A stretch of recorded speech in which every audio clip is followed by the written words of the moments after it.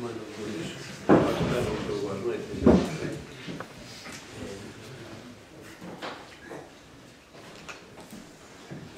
Primeiro de todo, moitísimas grazas por, por convidarme a participar nesto, porque na medida en que se pode supoñer que coidades que eu teño algo que aportar, francamente, eu son o primeiro que dubido de que teña nada que aportar xa,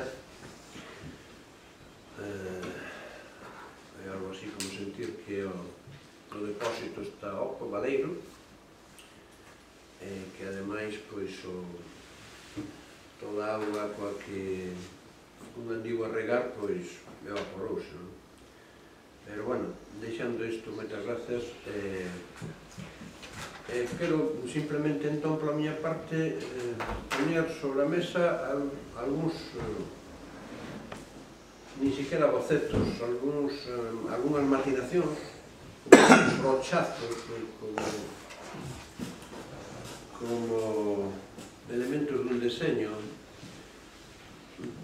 que un pouco vos dean a miña diagnose, que non é miña persoal, dicir, é a mm, un pouco a o que, a decantación que eu fago de todo o que absorbo, de todo o que estou a absorber, non? do que vexo, do que rematino sobre o que vexo, do que leo, etc. Non? Portanto, non é, non é obra propia, pero sí da miña, da miña e que podan servir entón para para para camiñarlo, non? E disculpademe que se cada teña un pouco de voz baixa tal porque ando un rei que me está amorando ben eh, e ando a base de calmantes hoxe. Isto, algunhas cuestións sobre iso manteneré un pouco. Primeiro, que momento estamos? É moi importante que mm, os seres humanos, especialmente mm, cando funcionamos como colectivos, por lo tanto, colectivos humanos, por reducidos que sexan, teñamos conciencia e capacidade de percibir, ler o que se ten chamado o presente como historia é dicir, unha das, da, dos problemas da, da evolución da historia da, da humanidade e dos, eh, dos movimentos en, en espiral que sobre un plano da pensión me parece que a historia se repite non? que unha, unha leitura reaccionaria da historia non? é debido a que o que si sí é certo é que somos seres humanos temos memoria E sexa por transmisión oral, sexa por leituras ou como sexa, pois isto accedemos ao coñecemento do que aconteceu previamente en épocas pasadas e o vemos claro. Pero en troque so que non somos moi capaces, casi nunca somos capaces, e menos colectivamente, e cando hai individualidades, sexen individualidades grupais ou sexen individualidades propiamente individuais individuos, que teñen esa capacidade de visión de lucidez, e o ben non son creídos de ver o presente como historia. Eu non me esquecerei nunca un clásico, un, un ensaio fabuloso de, de Paul Suisi, ao menos que dos anos 40, eh, andando isto estaba moi claro. Un dos problemas que temos nos vamos, sobre nós temos moi claro que foi o fascismo. O fascismo dos anos 30, 20 e 30, este temos máis ou menos claro cales foron as causas generatrices desa, dese proceso, verdad? Eh, desa, desa deformación, desa degeneración absolutamente das formas de organización e expresión da organización das sociedades humanas no plano social, ideolóxico, político e económico. O que, somos, o que, o que en cambio se si decimos mm, que hoxe estamos outra vez en presencia disso, pero unha metamorfose, con outra morfoloxía, entón, eso non nos creemos. E se eu digo, como dixen un día na universidade, eh, que os, o pior é que os máis grandes terroristas do Estado español non só andan cegos, senón que están no poder. Mencionei dende Rouco a Rajoy e incluso a, ao Fernández Ordóñez, pois parece unha butada do Oveiras, non? E, sin embargo, eh, estamos lendo que se está practicando terrorismo de Estado, non? eh, o que o comportamento de, do Estado español, do, do poder, do goberno e, a, e ao sentimento dunha parte da sociedade. A barbarie en Libia ou o que queirades ou a presencia en Afganistán todo iso está acontecendo e son formas de fascismo. Aí son os asaltos cando define o fascismo financiero como unha metodoloxía de fascismo que distinto por lo tanto vive, eh, percibir o presente como historia. E entón, a miña tese é a seguinte, estamos no final dun ciclo histórico a todas as escalas, a escala mundial do mundo chamado globalizado, que é unha coña, pero bueno, a globalización é unha, unha morfoloxía máis que unha fase da mundialización actual, que é a mundialización, a globalización financeira, casi exclusivamente, a nivel de Europa, a Europa mmm, construída superestructuralmente e económicamente sobre un proxecto que está absolutamente topado, porque hoxe a Unión Europea. No Estado español, o ciclo que arranca do tardo franquismo nos procesos de ruptura democrática frustrados e eh, esmagados eh, e apagados dende arriba, dende os mesmos que hoxe controlan esa troika de que se fala foron os mesmos que cociñaron a transición escamoteando o proceso no que participara a ciudadanía eh, proceso de constituinte dunha crema democrática, verdad? e que, que non foi adiante. E en Galiza, que a, o subterfuxio de, de, de dar un, un sucedáneo de autogoberno, en vez de ir a considerarnos como suxeto, suxeto político de dentro colectivos, por tanto, suxeto de soberanía, por tanto, pacto federal, por lo menos no Estado español damos unha autonomía, unha carta otorgada. Todo eso estamos vindo. E ao final, está esgotado. É a miña está elgotado a nivel mundial. A nivel mundial estamos no que, eh, nunha fase do que a, a, a Rigi, a mí, xa me reproxe, falo demasiado da Rigi, pero bueno, é que nos expresou con máis claridade, Giovanni Arrighi chama o caos sistémico. O caos sistémico é unha fase determinada, case a fase final, dun declive, dunha crisis de hexemonía. Estamos nunha fase de transición. E ainda non surdiron os focos hegemónicos Pero a potencia hegemónica xa non controla, por eso ten un comportamento tan errático. E por eso ten que recurrir incluso a algo que é absolutamente inconcebible na potencia que que reproducir na política de represión mundial, de represión sobre os disidentes, os discrepantes, os estados, as sociedades, os povos eh, que, se, que se lle revela os oneses, eh, a, a metodoloxía dos gans de Chicago pero así, es decir, cando se cargan a Bin Laden desa maneira, pois é o mesmo que para. Cando fan o que fan en Libia, esos gangsters de Chicago, o que vimos nas películas, esos, eso é cando o imperio, a capital do imperio, o centro todo do imperio, ten que comportarse así, que non lle abonda con ter xemonía militar no aire, na non sei que, no mar, é que estamos realmente non caos sistémico, e ese caos sistémico é a primeira coordenada que eu creo que temos que ter en conta. Por que?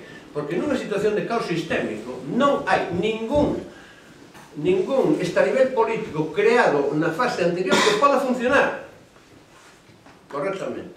E, por lo tanto, eh, o rol da dinámica pasa casi exclusivamente outra vez á ciudadanía. Se a ciudadanía asume o papel, entón pódese tirar para a cidadanía non asume o papel. Ou non acerta a conducir esa guerra será esmagada e teremos un totalitarismo xa absolutamente descarado. Con catro estamos a vivir de maneira máis ou menos mascarada e tenemos así. Por lo tanto, esta é a primeira reflexión que poño sobre a mesa que conduce precisamente a algo moi claro primeiro lugar a indignación obviamente os indignados pero claro, a indignación é a base de partida de estado mental aí, aí, aí lío moi ben Taricalín nunha, revista, nunha entrevista ainda recente dice, que dice que fundamentalmente un, un, un, un estado mental non? E, por lo tanto de psicología colectiva de masas eh, a indignación ten que dar paso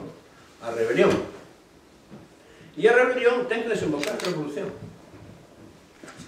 eh, cando se fala de revolución tamén temos que ter en conta de que non estamos falando do pasado sino do presente e que revolución é un concepto que trascende absolutamente os modelos de revolución habidos até agora hai moi pouco tempo Michel Lovi, o, o teu amigo o meu o ecosocialista, o gran, o gran ensayista, o gran analista das obras de xuventude de Marx, etc, etc, e o gran, e o gran especialista no nacionalismo xenotipadora, non? Pois Michel Lobby escribiu un ensaio precioso que me entregou no, en, en París por casualidade porque coincidimos nun, nun Consello Internacional do Foro. Eh, sobre os, os, as revolucións arcaicas que se chamaban, os procesos mm, revolucionarios que se deron non antes de que eh, se constituíse como suxeto histórico primordial o, un suxeto de clase que o proletariado, antes.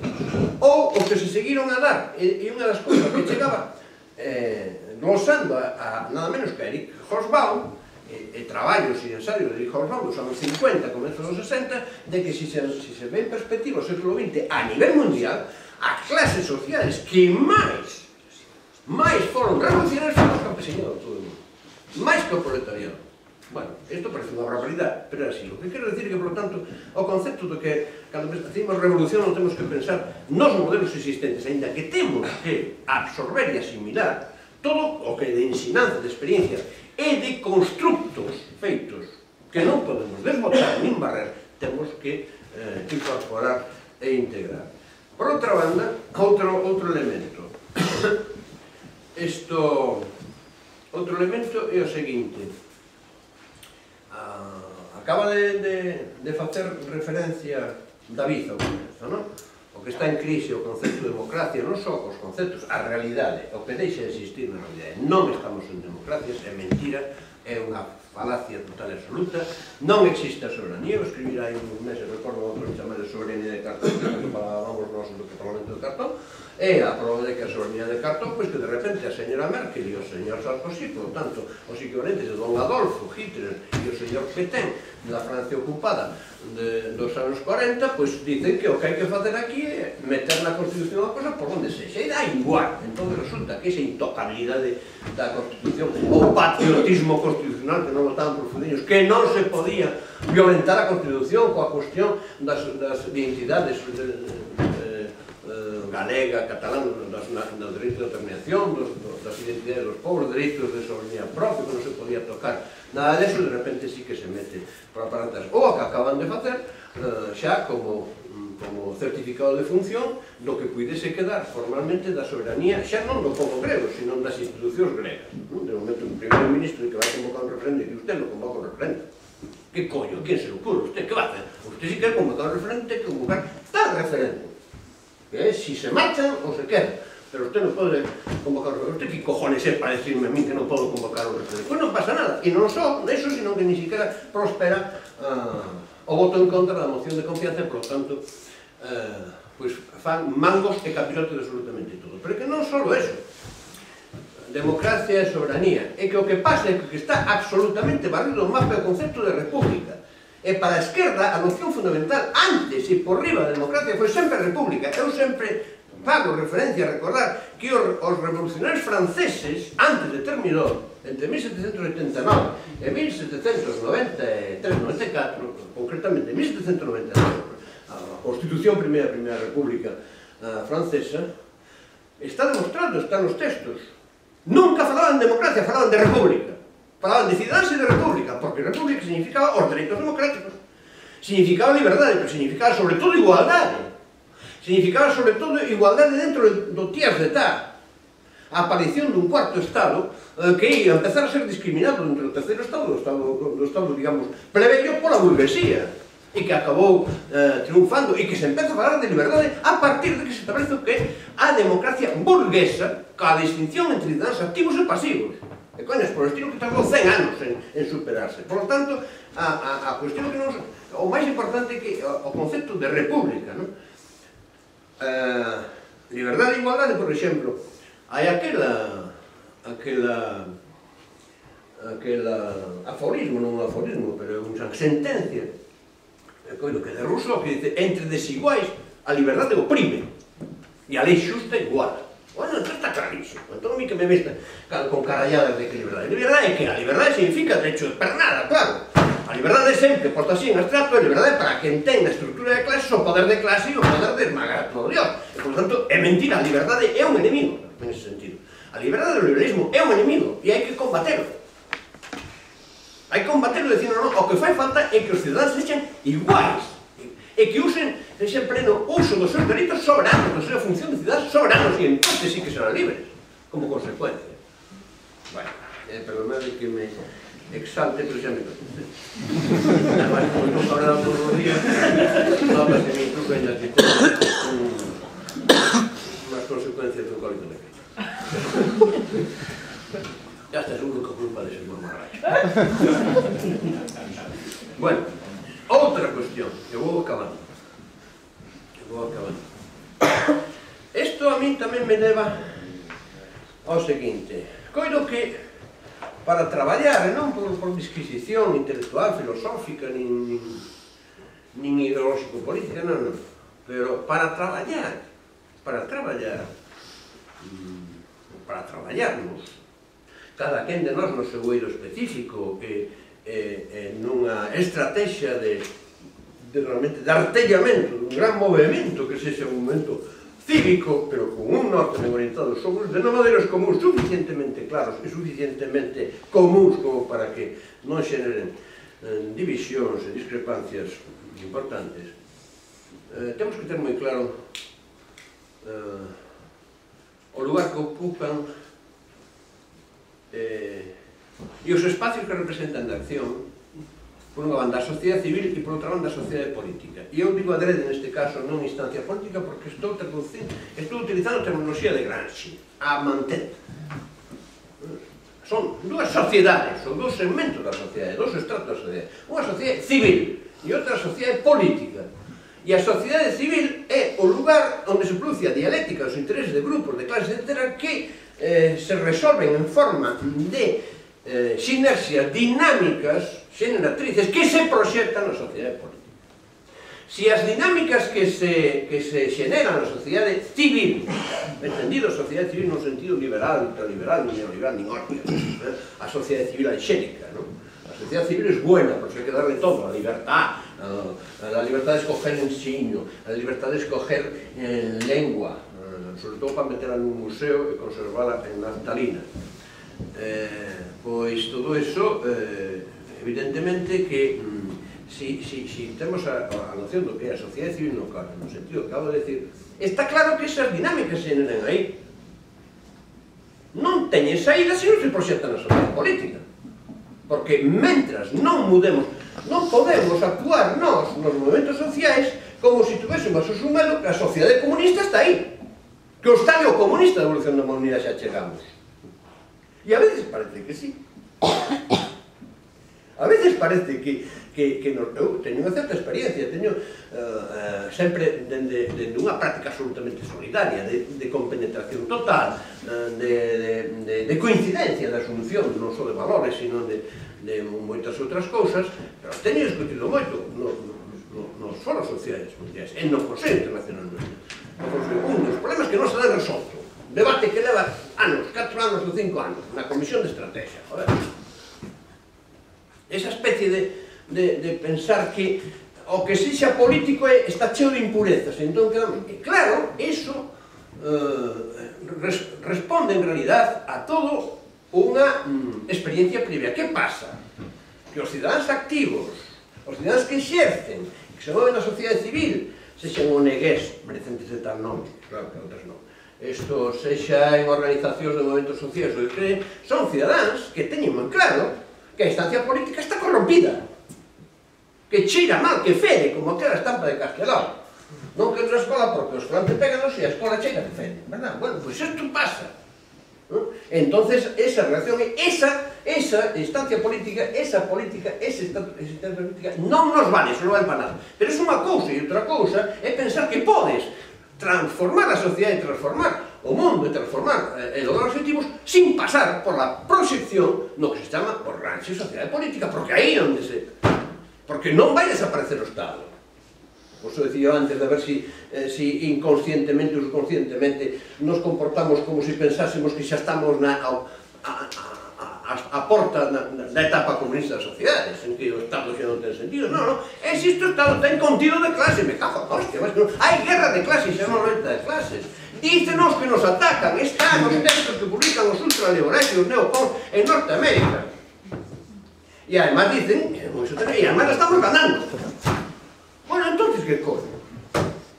Pensamos que podemos simplemente gañar esta guerra eh, traballando só no, no, no nivel da sociedade civil? Eu considero que non. O que pasa é que o que non nos vale son os estaribeles os estaribeles existentes hoxe que están obsoletos. Incluso hai, cando se fala de bella esquerda e nova esquerda, e mesmo de novísima, é unha forma de falar. Prepárate, prepárate agora. No, a ver, a ver se te explico. No, no, porque é que además é que se ven constantemente. Eh, e además é verdad, no sentido, o que se quere decir está claro, e é gráfico. Hai a bella esquerda, o que sea, as estructuras dos partidos ML, concebidos no, nos esquemas de Lenin, perfectamente eh, pensados para aquela etapa histórica, el proceso para unha revolución como a soviética, e logo convertidos en simplemente pois, esquemas de aparatos de poder con unha... Eh? Evidentemente está obsoleto, porque di eso moitos outros. Non. O que quero dicir é que eu, eh, eu normalmente, eu o que creo que hai esquerda, a nova esquerda é esquerda, e outra é ex-esquerda, foi esquerda, que non é. Claro, e iso é moito máis, moito máis aclaratorio para a xente. E ademais non podo ofender a ninguén ti vas a un cadro do Partido Comunista Español hoxe dentro de, de Izquierda Unida e de Sodes Bella Esquerda naturalmente con tío ten que sublevarse porque joder, mal que venir levan non sei cantos anos e ten a miña edade ou algo menos incluso levan se dando callo e nunca, nunca se encargou o poder non se pasou o PSOE menos ainda o PP como algúns, non? bueno, de acordo Entonces, é unha cousa que resulta agresiva. Pero en cambio, se ti dicen, non, non, é que eso no que ti estás... Foi esquerda, pero non, non é. O tío non te pode... A ver, vamos a discutir. Por lo tanto, a, a cuestión importante, non? Hai, eh, hai unha ex-esquerda e hai unha esquerda. E iso corresponde á dinámica social, nada dura. Nada dura. Si estamos dicindo que a tesis del foge, carallo, que se como chama, non era foge igual que eso... Fullama. Fullama. Que era unha mamarrachada, ao final da historia, que é que é unha mamarrachada entón que imos decir que, que, que en cambio a sociedade eh, sí que en cambio sigue sendo o mesmo e que os, os esquemas de organización en clave de esquema social siguen valendo os mesmos e, e así sucesivamente. Evidentemente, non, todo ten o seu tempo. Todo ten o seu tempo. Porque, para empezar, temos nós. Eu pasado a maña estarei criando malvas, joder. E, por tanto, non podería ni siquiera participar nese chollo. Pero o importante que hai un proceso de relevo e iso é o que significa a esquerda, que chamamos a esquerda, é a expresión. Na dinámica no, no panorama actual do que é a esquerda e a cidadanía que se implica neso é a cidadanía que con independencia que teña experiencias anteriores que teña sido militantes distintos ou non se, se ten ese pasado por edades e non é xente moi nova pois que sexa eh, en calquer caso está asumindo asumindo un, non digo unha cosmovisión, asumindo unha visión da realidade e, a, e, a, e, e un enfoque e un plantexamento dunha forma de actuar, dunha organización, dun artellamento, dunha estrategia redor duns valores e duns objetivos que son actuais corresponden ao que é a actualidade. Cando nos decimos que isto o capital, a sociedade capitalista non a podemos eh, superar simplemente modificando a relación de producción como se decía nos esquemas, digamos, clásicos, ¿verdad? Eh, porque hai que modificar para, eh, simétricamente as pautas de consumo é que unha das contradicións máis graves que temos todos é que somos en maior medida consumistas mentre estamos denunciando ah, bueno, pois significa eso hai eh, na, na, na Rusia zarista de 17 non tiña ni coño onde se morría as famias dos cuartas partes da población. Na España do tempo da República non tiña ningún sentido.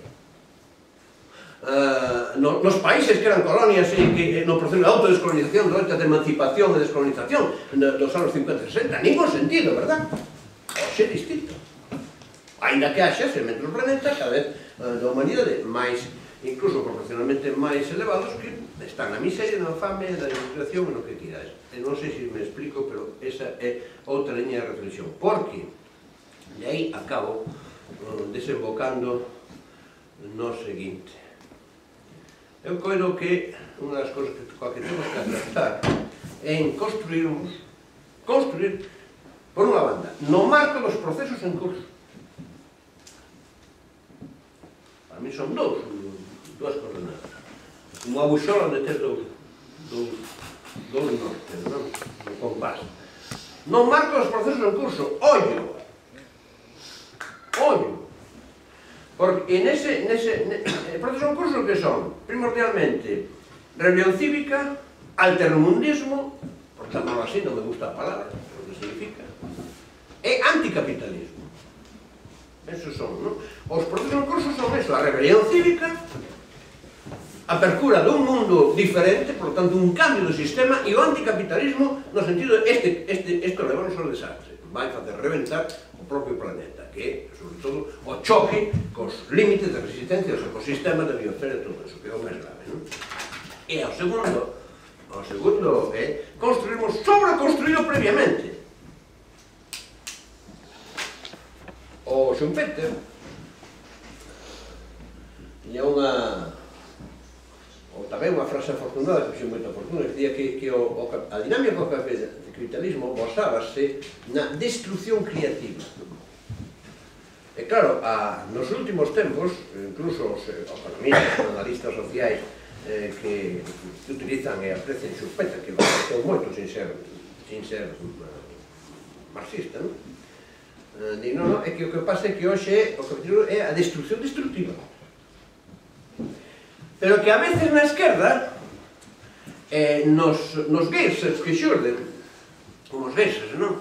De, por rebeldía, por rebeldía, porque xa está ben, eh, non vale nada moitas veces tamén se vai hai que destruir o, o, que, o, que, o que existe porque non nos vale e non os construcións do inimigo principal, sino as construcións anteriores dos que foron antes que non sei que, o que foi, o que ex-esquerda, o que foi esquerda, E iso conduce moitas veces a unha destrucción que é destructiva porque deixa completamente isolados e sin ningún colchón alrededor, sin ningún colchón de unha espuma, aos novos focos de, de resistencia de avance. É fundamental. É, é dicir, eso é clave para unha política alianza. Eu, e acabo de verdad, eh, é, a ver se os expreso desta maneira sobre, primeiro, cando se trata de, na sociedade civil, temos que procurar non intentar inventar novas cousas si podemos aproveitar cousas existentes. Podemos tomar iniciativas. E é moi importante a iniciativa. E facer o que se fixo hoxe aquí. Pois non estou aquí, senón non diría que coño, non, que xa non, non estou para estas. Pero, isto, está claro que existe un foro social galego que está prácticamente inane. Por que está inane? porque o Consello do Foro Social Galego que o, o nacido no evento do primeiro Foro Social Galego en vez de funcionar en vez de seguir a, a concepción de que o foro é un espacio dinámico constantemente en actividade e non unha sucesión de eventos só Esa concepción non se levou a práctica, polo tanto, converteuse nun organismo onde hai unha presencia de representacións diversas, pero que non opera. E incluso cando se quere, entonces, ao mellor, por relanzar a convocatoria dun novo foro social galego, non se está ni siquiera en condicións de ponerse de acordo. Ah, bueno, entonces, que facemos? Suplimos eso, creamos un novo foro social galego, chamamos de outra maneira, ou hai que decir, vamos, por que eso non funciona? E aí, hai que, hai que, hai que meter a dinámica, ou polo menos utilizarlo, verdad? Si, si, si funciona moi ben, e se non, evidentemente, está obsoleto fuera do caixón dos obxectos obsoletos. A eso me refiro. O que significa mm, que hai que pensar moito máis en términos do conxunto da ciudadanía organizada, da sociedade civil, e ao menos da activa, ainda que non esteña organizada, que é unha das claves para dar o primeiro salto. Porque un dos problemas que está habendo é que, por exemplo, as redes de movimentos teñen cada vez máis dificultades, sobre todo no centro dos por exemplo, de Europa, e vese no foro social eh, continental europeo, que está prácticamente semimorto, ten cada vez dificultades para trascender os lindes das propios espacios das organizacións e penetrar no conxunto da sociedade civil. Entón, se si non és capaz de penetrar no conxunto da sociedade civil, que é receptiva, pero que non, eh, que non está integrada, eh, moito menos poderás eh, catapultar algo que obliga a instancia política a unha decisión. Eh, as firmas de millóns de firmes dicen a Sarkozy que non se pode fazer non sei eu firmei no tamén, máis moi bien sí, pero, bueno, mete naturalmente en el, en, en el bate rápidamente, importa un carallo. Estas, eh, por lo tanto, esa é a, a, a primeira cuestión. E no plano da relación coa instancia política é algo análogo. Eu penso, eh, se eu penso na organización calquera de esquerdas, ou nacionalista de esquerdas, ou que foi de esquerdas, ou que foi nacionalista de esquerdas, non vou poñer nome, pero xa vos imaginar facilmente. Eh? Ben, non unha soa, outra. Eh, Cando se fala dunha organización así, en que se está pensando?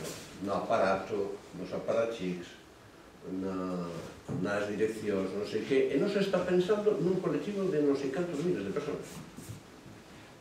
Que pasa? Non existe. Entón, que va?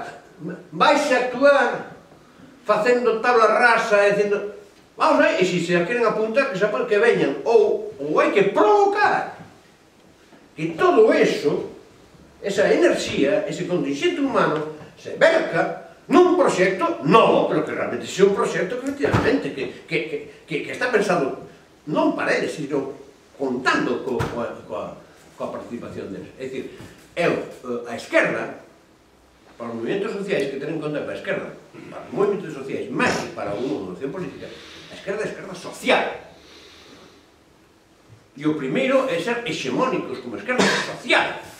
Pero a seguinte paso é proxectarlo para ser hexemónico na esquerda política. O referéndum famoso en Francia contra o Tratado Constitucional que se gañou, por que logo un cambio non se traduciu eh, en, en, en resultados no plano electoral nas eleccións seguintes, incluso presidenciales Sarkozy deste, deste facha del carajo, vamos, un fascista total, absoluto, vamos. Le Pen non é, non é Aí está, Le Pen é o fascismo dos anos 30, pero non é o de Oxo, é o de Sarkozy. E sin embargo non se ve a Sarkozy probablemente como fascista, é un tipo que non sei que, pero Le Pen sí, non? Le Pen é la hostia, Le Pen non vale para nada, tú cometer a fiña por diante, senón ni siquiera se llevaría. En, e, e, por qué? Porque en Francia, hoxe, é hexemónica a esquerda, socialmente, a esquerda social, é mayoritaria pero non se traduce nunha maior esquerda política. Non sei que a pasar nestes sentidos, pero tampouco vai ser a esquerda. Vai ser o Partido Socialista Francés que é a ex-esquerda. Bueno, isto, claro, eh, estas son un pouco as miñas reflexións, e xa ves por onde van, e onde apuntan. Eh, eh, son reflexións que son unha base de unha diagnose optimista, non da situación do mundo, que va pero sí optimista das dinámicas existentes na ciudadanía e que ademais son as únicas. Ou isto se amaña cunha rebelión cívica eu teño pronosticado pero seguramente me equivoco con tantas veces que en menos dos anos hai un reventón eh, social imponente en toda Europa en toda Europa que el señor Rajoy ou como carallo se chame señor dos cilindros eh, eh, chegan a Moncloa empezar a gobernar pero que en menos dun ano hai un reventón. Quen apostaba un peso a antevíspera de estoupar a rebelión en Túnez que iba a estoupar e antes do de Egipto en cambio de aí pasou a decir que xa está todo, ahora xa ver, que non, que compra que saben moi ben o sistema defenderse, resolver gañar terreo, etc. etc. Quen apostaba ah, en vísperas do, do 15M que iba a haber o, o, o fenómeno que houve. Ninguén, por que? Porque nos creemos eso de que la juventud es pasota, los ciudadanos están no sé qué, o caralho. y iso sempre houve un porcentaxe mayoritario de ciudadanía, de povo, que en realidad non está. Está alienado, coño, a teoría la nación, si que se verdad, é que si non sería todo moi fácil pero que sempre hai os elementos activos que son os que moven, e eso salta en calquer momento, e en definitiva, e acabo de verdad, é a, ah, a metáfora da bella toupa. A revolución é a bella toupa, que vai por debaixo de terra e vende pumba, sale por aí, e nunca sabes onde, onde vai sair, e, e, cando quería, un amigo meu quería matar as topas, que se me llevaban o césped, e estaba con unha laia a ver se, a ver se, e cando empezaba a intersexe, pero chegaba e xa non estaba a non? Bueno, disculpa, máis ou menos... É o que quería decir, pois que xa non pasei cantidad.